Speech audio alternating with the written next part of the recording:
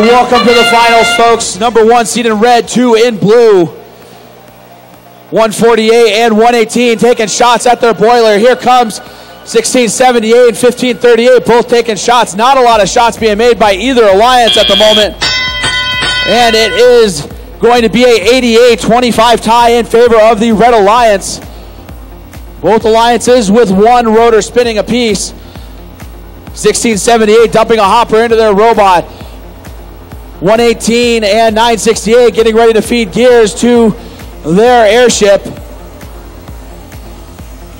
Looks like we need one more gear in order to get a second rotor spinning for the Blue Alliance.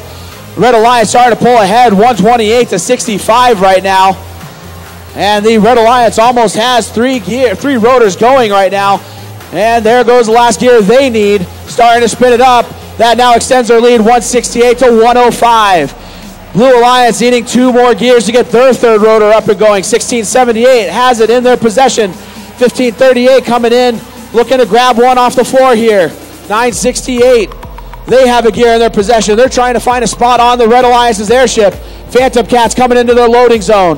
Three rotor spinning on blue now. Blue Alliance trails 168, 145. Just over a minute left to play.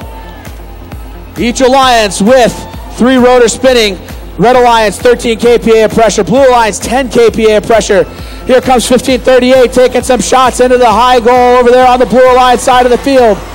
Four rotors spinning now for the Red Alliance. Red Alliance jumps out to a big 308 to 145 lead here in the finals. 45 seconds left to go. A couple more gears being delivered by the Blue Alliance, and it looks like the Blue Alliance might be missing one, maybe two gears in order to get that fourth rotor going. 148 getting into a little bit of a shoving match over there in the corner with 1678. 321, 146, less than 30 seconds left to go. Ropes being deployed by each alliance. Here comes another volley of balls from 118. 118 and their alliance up to 28 kPa and climbing. It's going to come down to climbs for these alliances.